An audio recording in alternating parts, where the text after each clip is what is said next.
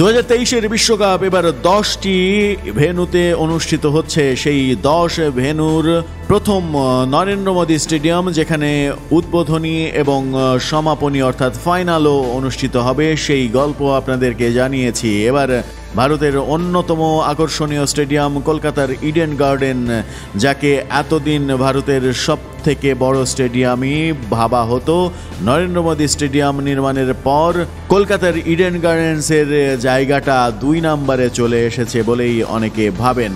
Kolkata Eden gardens বিশ্ব ক্রিকেটের অন্যতম পরিচিত এবং বিখ্যাত মাঠ। সেই মাঠে এবার বিশ্বকাপের অনেকগুলো ম্যাচ হবে, সেমিফাইনাল ম্যাচও রয়েছে এই মাঠেই চলুন ইডেন গার্ডেনের কথা একটু জেনে নেওয়া যাক। ভারতের অন্য সব শহরেই ক্রিকেট জনপ্রিয়, তবে কলকাতায় জনপ্রিয়তার তুঙ্গে। এই শহরে ফুটবল সবচেয়ে জনপ্রিয় হলেও ক্রিকেট অনন্য উচ্চতায় এনেছে।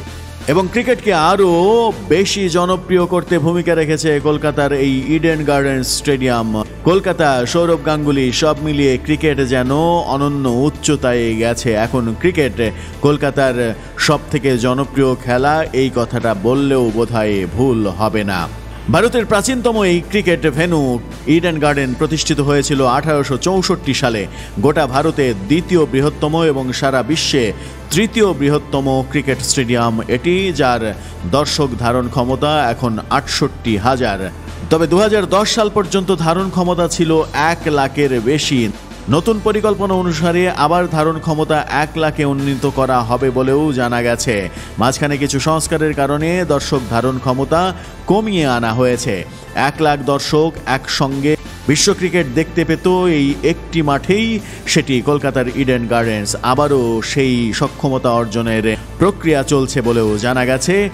এরপরে নরেন্দ্র মোদী স্টেডিয়াম তৈরির পরে বিশ্ব ক্রিকেটে সেটি জায়গা করে নিয়েছে নাম্বার ওয়ান হিসেবে, যার দর্শক ধারণ ক্ষমতা এক লক্ষ বত্রিশ হাজার। উনিশশো ছিয়ানব্বই বিশ্বকাপে ভারত এবং শ্রীলঙ্কার সেমিফাইনাল ম্যাচে সর্বোচ্চ এক লাখ দশ হাজার পাঁচশো চৌষট্টি জন দর্শক একসাথে মাঠে খেলা দেখেছিলেন এই ইডেন গার্ডেন্সে, যা বিশ্ব ক্রিকেটের অনন্য রেকর্ড। ইডেন গার্ডেন ওডিআই বিশ্বকাপ টি টোয়েন্টি বিশ্বকাপ এবং এশিয়া কাপ সহ বড় বড় আন্তর্জাতিক প্রতিযোগিতার ম্যাচ আয়োজন করার অভিজ্ঞতা সমৃদ্ধ একটা স্টেডিয়াম।